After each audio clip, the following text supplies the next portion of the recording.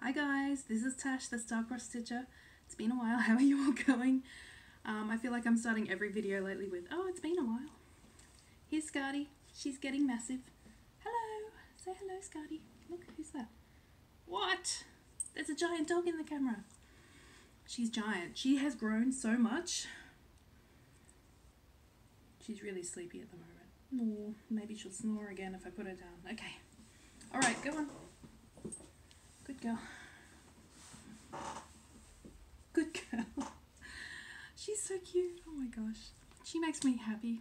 It's really good. Um, alright, let's get down to business. God, I've been so busy. It's crazy. Um, I have two finishes. I have a little bit of haul, not too much. I have some progress. I need your help with something. I've got a couple of past the stashes to do. Um, yeah, let's do it. Okay. So, my first finish is this one. This is called Angle of Love by Cross-Eyed Kat. Um, I started this in Mania last year and I decided I'd just finish it off. It was a pretty quick finish, didn't have too much work to do on it, and I'm trying to finish as many things as possible before Mania this year so I can have a bunch of new starts in Mania.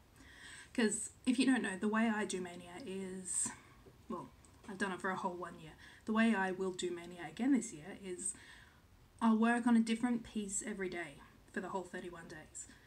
Um, I've got like 27 whips or something, so I need to have four new starts. I'm hoping to finish a few more things before then, so I'll have a few more new starts. I love new starts, what can I say? Um, so yeah, this is Angle of Love. It's a, you know, a little bit nerdy. Um, unfortunately, some of the flosses are a bit dark, so you can't quite see all the mathematical formulas that are on it. But there's the um, C equals 2 pi r. Um, area equals pi times radius squared. Um, a plus b, a, c squared equals b squared plus a squared, and then of course that's c.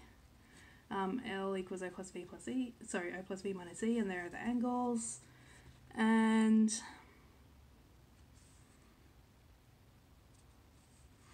half A plus 2B.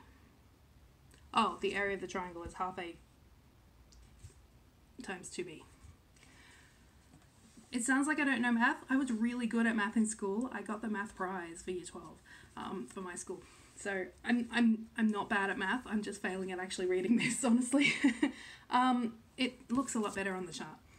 Um, I didn't use the charted colours. I used four colours that a friend had dyed for me many years ago as part of a Pay It Forward. Do you guys remember Pay It Forward? It was a thing back like 10 years ago on the blogs. It was like a thing people used to do. So the idea was you would sign up for someone's Pay It Forward and they would make something for you. You know, they might stitch you something, they might dye you some threads and fabric, which is what Mel did for me. Um, and then as the recipient, what my job to do was to pay it forward to five more people. Um, so five people would sign up for me and I'd make them something or whatever. And then each of those people would have five people would make something for five other people. So it multiplies across the community really, really quickly, and it's so much fun. Um, of course, I'm a horrible scoundrel who never sent my things on. I made something for two people, um, and then I stopped stitching and never sent them on. And the other three people who signed up for me, actually, I think only two other people had signed up for me. Um, yeah, I never even got to making things for them because I stopped stitching and I moved down to Canberra and my life changed. so now that I'm back at stitching all this time has passed 10 years um, and I want to, I, you know what, I actually would like to still pay those things forward. And I've tried to contact the people who signed up for my thing. I know there was Nikki and Kiri, and I can't find either of those people. And I can't find where I wrote down the names of the other two people who signed up for it. Um, so I I guess I need five new people. If you want to, me to pay something forward to you, let me know. Um, right down below. Um, what this means is that I'll make you something and send it to you, of course. Um, I'll probably just stitch you something and make it into a small and send it to you. But you have to pay for it to five other people. So you need to have, I guess you need to have an Instagram or a floss tube channel where you make videos. Um, yeah, so you can advertise to people, sign up for my Pay It Forward. Um, hmm. Yeah, so if you want to pay it forward, leave me a message below. you'll need to have an Instagram or a YouTube. So leave me your Instagram name or your YouTube channel and tell me that you'll be happy to pay it forward to five other people and I'll pay something to you because I Mel sent me these gorgeous things and I want to pay it forward. So let me know if you want to pay it forward. Let's start a FlossTube movement thing. Hashtag pay it forward 2018. um, yeah, that's dorky. Okay, sorry. Um, yeah, so that's Angle of Love. Yay! I love this. Um, it's nerdy and romantic and sweet, and I love it. I love it. I love it. Okay. Um, the next thing I finished, two finishes, was Regal Peacocks by Teresa Wentzler. Let me get let me fold this so you can see it a bit better. That is better. So Regal Peacocks. Um, this was in a Just Cross Stitch magazine from 1989. And look at the colours, you guys. That's amazing. You know, this was a lot of work. A lot of work. It was a big pain in the bum. Um, yeah, a lot of work. The chart is all hand drawn, um, so it's quite hard to read some of the symbols. There are mistakes in the symbols, like some of them have arrows pointing to the right and arrows pointing to the left, but they're both supposed to be pointing to the right, as best I could interpret. Um, so I kind of just did my own thing in that area to because there was no floss listed for one of them, so I just used the same floss as the other one. Um, I stitched it two over two on 36 count opalescent even weave. Um, yeah, you can see those sparkles well. Um, God, it's so pretty though. I mean, it is worth all the trouble. It's gorgeous. I love this. I want to stitch it five more times. I'd love to put this on like the lid of a the lid of a box or something because I think it's beautiful. Gosh, the colours though. Ter- oh, this is, this is by Teresa Wentzler. Don't know if I said that. Um, Teresa Wentzler, so much detail. The colours are a little 90s maybe, or 80s as it were. I think it was 1989 that the chart came out. This chart came out when I was five or six years old. Crazy. Yeah, love it. I love that. God, I love that. It's beautiful. Um, I didn't say so, but this was stitched on 16 count white Aida. Nothing special. Um, I need to go back to my last video. I was talking about how I've been at the coast and I forgot to show you some haul I got. There's a shop called Sew and Tell. Sew and Tell. Um, and it's in Berry, New South Wales. There's the address there. Uh, shop 2, 133 Queen Street, Berry, New South Wales. Um, so we drove from Jervis Bay up to Berry. It was an hour or so drive, probably less actually. And I got a few fabrics. These fabrics are by, um, oh, what's it called? Stitches and Spice. Um, they were an Australian dyeing company that's since stopped dyeing. Um, Naomi's stopped dyeing. I don't know why. I wish she hadn't because my favourite fabrics ever. See this Toccata 2 here? This is stitched on my favourite fabric in the world ever. It's called Celtic by Stitches and Spice and it's like cream with like a really subtle purpley all the way through. I love it. This is Camo Fudge. How amazing is this? I am so excited to find this. I can't even tell you. My god. I couldn't believe she had it in stock. I was I was like is this allowed? I was like what what's happened here? I've just I've just stumbled across a massive fat quarter. This is um Cashel 28 count. Um 70 by 50 centimeters, which is a fat quarter. It's a little bit bigger than a fat quarter, I think. And it was that's can you see the price? $40.70 pretty expensive, but I mean, to get this fabric, wow, love it, amazing. God, it's so good. It's so good. I mean, that is perfect. The colour you're seeing there is perfect. Oh my god, what am I going to stitch on this? I'm in love with this. Oh, I'm in love with it. Okay, and I got another one. I'll fold that up later. I'll fold that up later. You guys don't have to watch. Oh no! Dropping everything. Okay, I'm back. Um, I got another one. This one is Sugar Cane Crunch, also by Stitches and Spice. At this. Ooh. Ta-da! Yeah, that colour's perfect. Look at that. Oh, I'm so disappointed that Stitches and Spice are no longer dying. I mean, they were the best. They had the best fabrics. And I, I have a few other pieces, of course. Um, but yeah. God, look how beautiful that is. It's a little washed out for you. Yeah, it's a little bit washed out because this light is so bright. There you go, that's a bit better. Oh, love it. Wow. Um, yeah, so I'm so pleased with those. I couldn't believe I found them. I just felt like I was stealing something when I walked out of the shop. Um, they did have more by Stitches and Spice, but they were all, um, this is Cashel as well, same price. Um, yeah, they were also blues and pinks and stuff, and I'm much more into these sort of neutral colours. Um, what else did I get? I got Crinkle Crinkle. Everything today is crinkly. I got Fabric of the Month from Under the Sea Fabrics. This is Galene Belfast. There you go. It's very pretty. Blue, it's looking a bit paler to you than it is in real life. Blue and green and... Yeah, that's a bit better. Blue and green.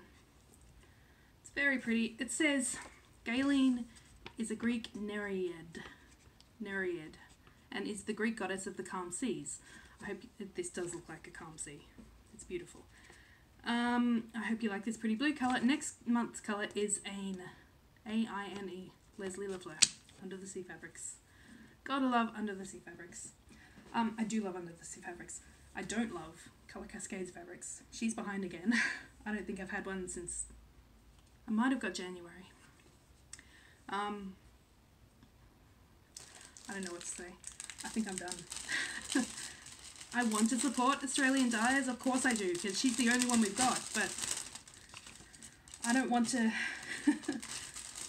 yeah, I think I'll um just use her for when I have a specific fabric in mind, because she's it's just not reliable to um expect something from her every month. She obviously can't keep up.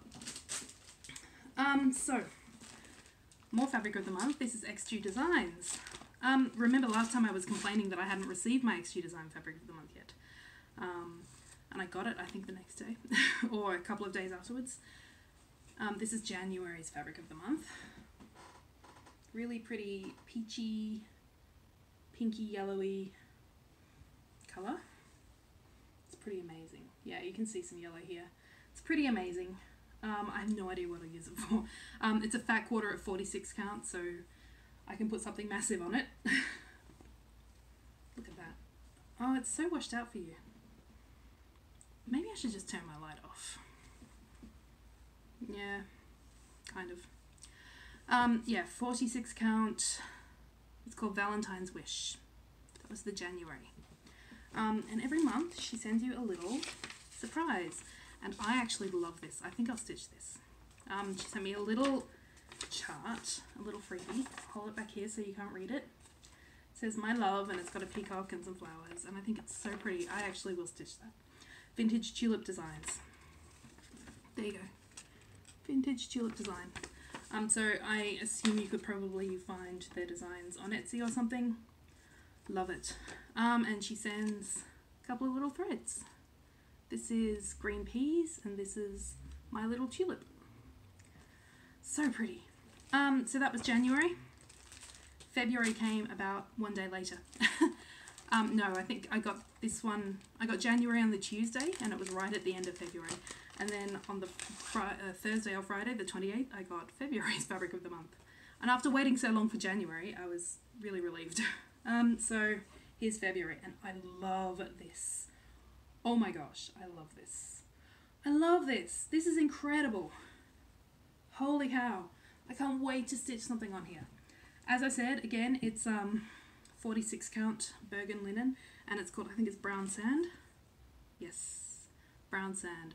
Fat quarter again, so I can put something massive on here.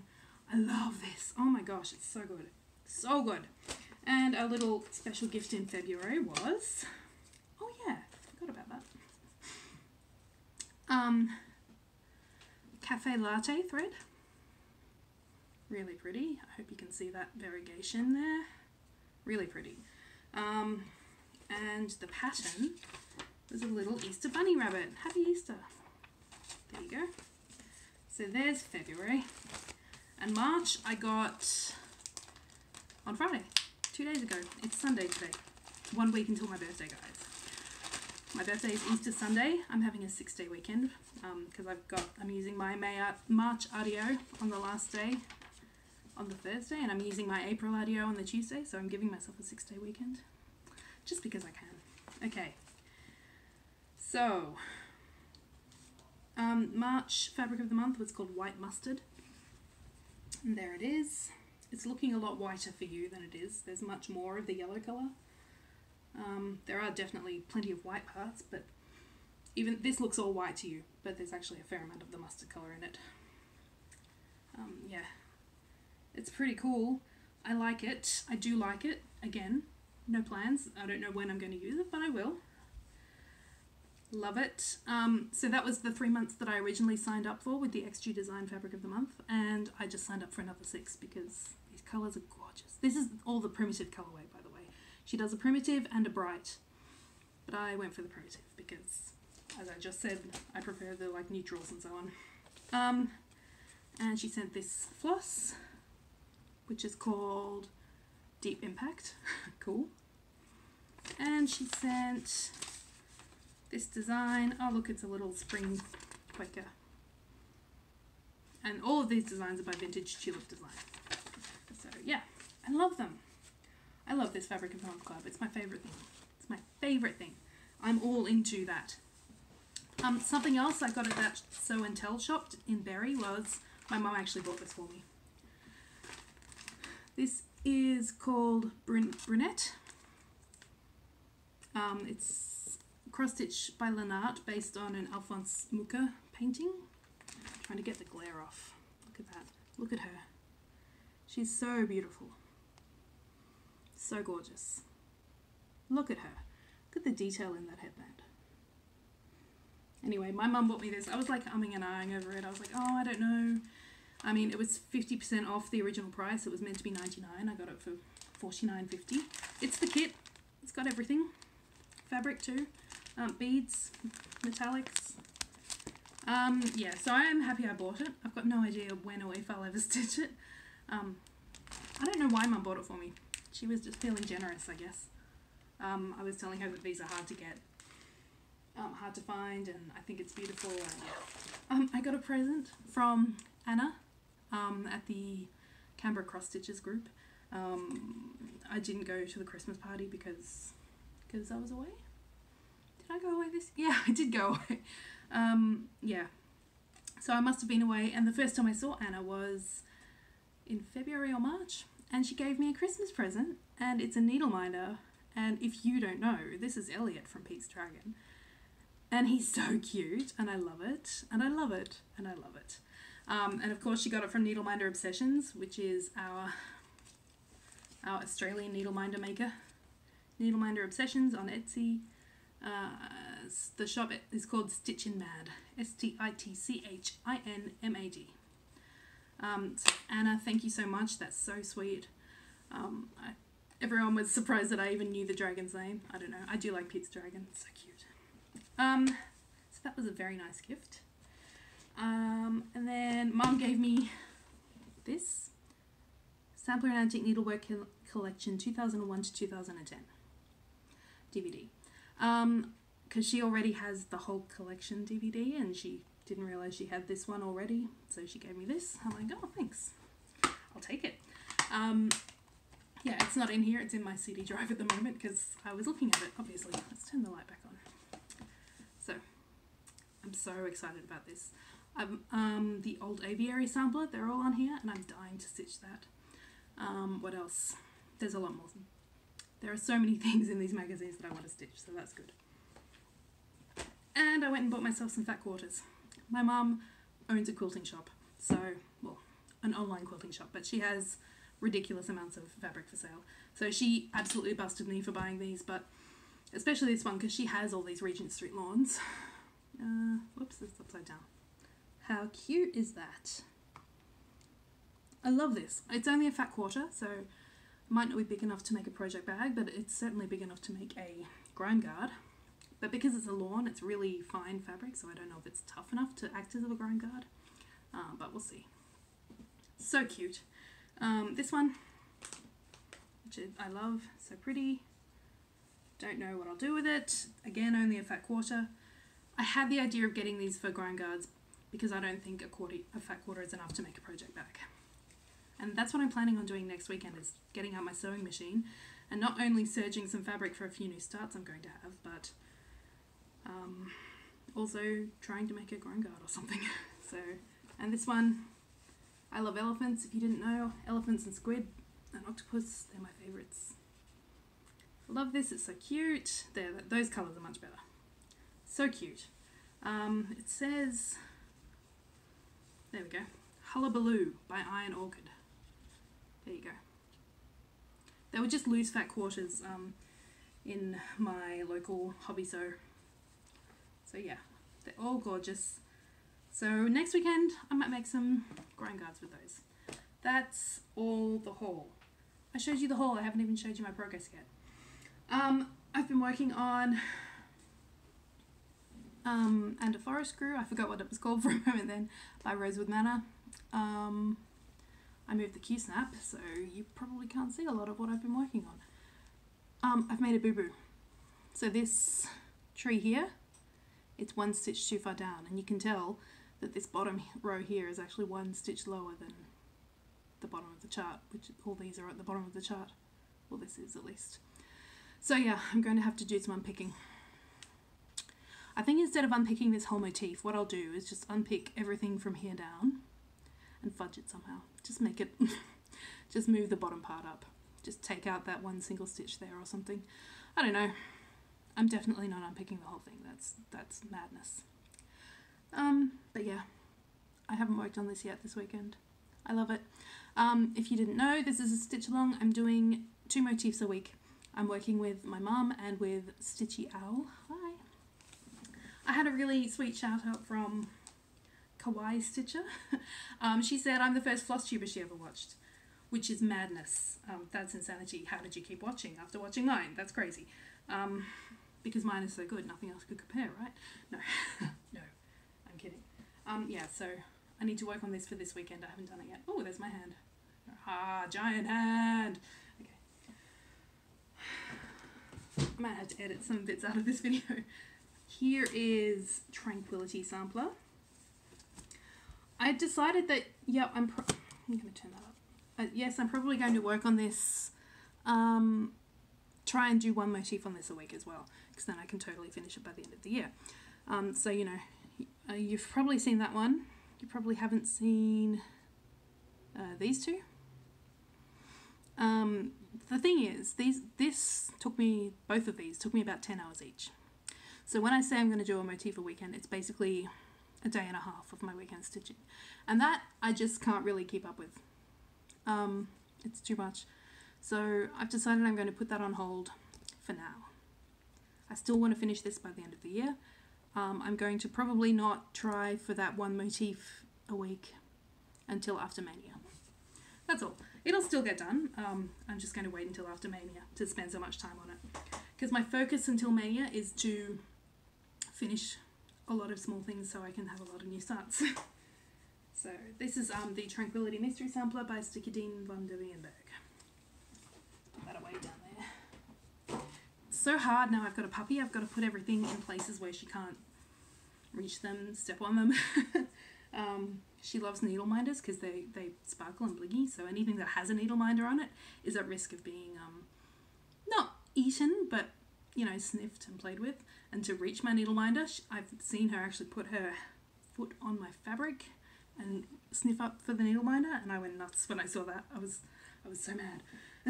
um, the other thing, one of the other things I've been working on is my blanket. Remember I told you I was making this blanket? This is the hydrangea stripe blanket from the Attic 24. Love these colours, they're so pretty. Um, I'm about, apparently I'm 20% done. So it looks short. It's only going to be five times this long. Um, the width, the width is king size width. So this is just a tiny section you can see here. It's a lot wider. Um, king size bed, but yeah, that's coming along. I'll probably finish that sometime in winter. Um, so the thing I've been spending most of my stitchy time on is Japanese octagon box. And I need your help I need your feedback on what you think about this black bit and this blue bit I've been experimenting with.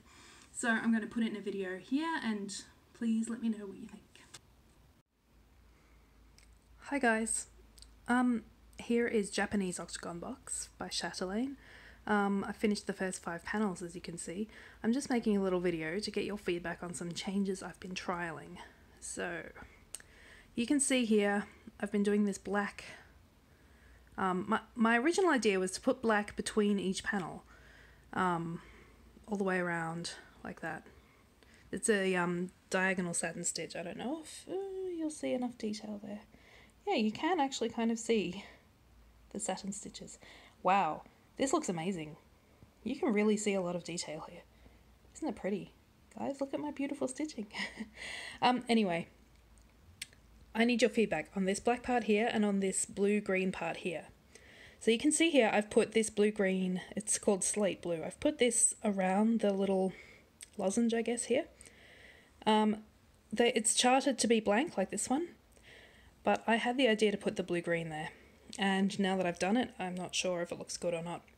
Um, my overall idea was, okay, if I put the black between each of the panels and I put this blue-green down here, then the only parts where you'll actually see fabric will be um, behind the motifs here and in this in the top panels. So it will actually look like a screen um, with holes in it at the top, and you'll it's like you'll be looking at the landscape through the screen or through the windows or something. Um, and I like the idea, but I just don't know how it looks. I think it looks dark, which I don't hate. I guess I don't hate that it's dark. The thing I really hate actually is that it's a lot of hard work. It's really hard work. Um, yeah, it takes a long time. It's taken me about two hours to do that much black. Maybe not, maybe an hour and a half. Um, it took me a while to do this blue. Um, I'm actually less certain about the blue than I am about the black. Um, now I look at it through the camera though, overall, it looks good. It looks really good. I don't know, guys. I'm really conflicted. I'm just going to give you a bit more of a close-up of this because it looks amazing here, guys. I'm sorry that my hands aren't going to be very steady, but I thought you might like... There's an over one bird. Some queen stitch pine cones. The top. There you go. There's a nice little scan over of Japanese octagon box. Just the first five parts, I still obviously have a lot of work to go. This chart's really weird. So in this panel, the bird is charted for two light greys and a black, and in this panel it's charted for light grey, dark blue and black. Um, and there's a lot of places like that where things you would think would be consistent between panels are different. Um, but, you know, I think that's pretty um, typical of Martina's charts. There's a lot of places where you have to sort of use your own judgment to figure out how would be the best way to do it. Anyway, guys, please leave me some feedback uh, about this black here and this blue here. Do you like them or not? Should I just do one of them and not the other? What do you think? I do like the idea of having it as though you can look out the windows to the landscape. So let me know what you think. Thanks, guys. Okay, so any suggestions? What do you think? Do you like the blue? Do you like the black? I actually like the black more than I thought. I When I started the black, it looked too dark. Um, but as I brought the black down, it actually looks the way I thought it would look. The blue, I'm not sure about. Maybe I need to do more before I decide if I like them or not. I don't know. I don't know. Please, please, please give me some feedback. I don't know. I don't know what to do. I think I'm going to put that aside for the rest of the weekend. Um, and wait to hear back from a few people. Please, please, please give me your feedback. I really, I'm really not sure. I'm second guessing myself, and I think I've been thinking about it and looking at it for too long that I am now no longer objective at all. Um, so let me know what you think. Okay. Um, what else? We did the pay it forward. Oh, pass the stash. Pass the stash, guys. If anyone wants to stitch Angle of Love, please say, I would like to stitch Angle of Love, and I'll send this to you. That's all. Um, it's the original chart. It's out of print. It's by Cross-Eyed Kat. So if you want it, just say, I'd like to stitch Angle of Love. Um, you know, don't say angel, say angle. um, that's the joke, I think. Everyone thinks it should be Angel of Love, but it's Angle of Love. Um, and also, this is the magazine. um, that the Regal Peacocks came from. Let me see. I'm not going to do a full flip, a full flip through, but there's the Regal Peacocks pattern there. There's another one. Um, the cover is. I love. I actually love this. Um, it's called A Man of Sense by Sheepish Designs. Ugh, glare. It says, "When in love, I do commence. May it be with a man of sense." So funny. So funny. Um, it's just cross stitch, January, February 1989. As I said, so I was five years old. Um, yeah. Love it. Um, yeah, if you want the magazine, please say I would love the I would love to have the Just Cross Stitch magazine. That's all you have to say. Um, and I will post those two out to people who want them. So, is that all?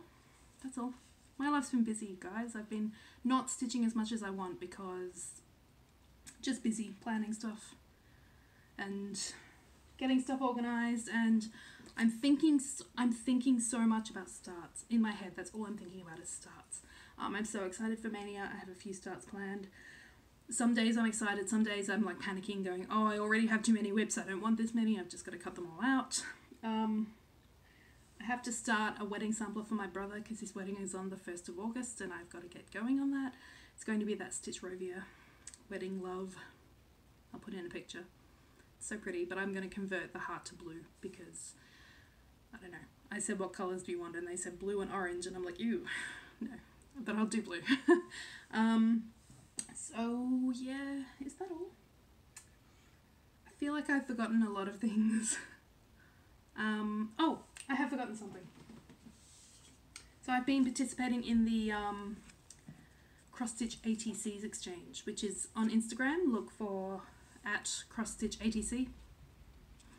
Um, so it's an exchange. Every month you stitch an artist trading card, which is 3.5 by 2.5. Um, just stitch something 3.5 by 2.5, then stick it on some cardboard, write your name on the back, and send it off to your recipient. And there's a theme every month, and you do an exchange, and then you also receive one. So in January, I sent one off to um, Calico Luna, and I'll try and put in a photo here of what it looked like.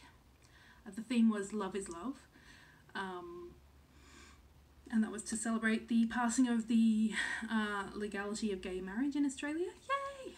Um, so I sent that off, and the one I received in return was from Lizzie Knits, and this is love in many different languages.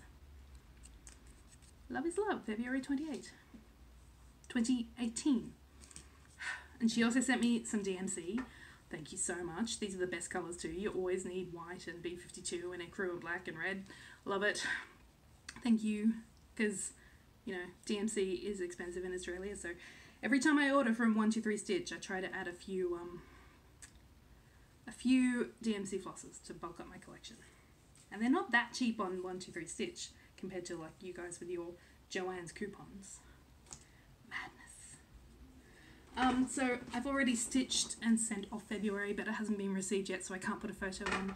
Um but the recipient should get it pretty soon because it was sent on the 20th. Actually, it's only the 25th, so it'll be a while.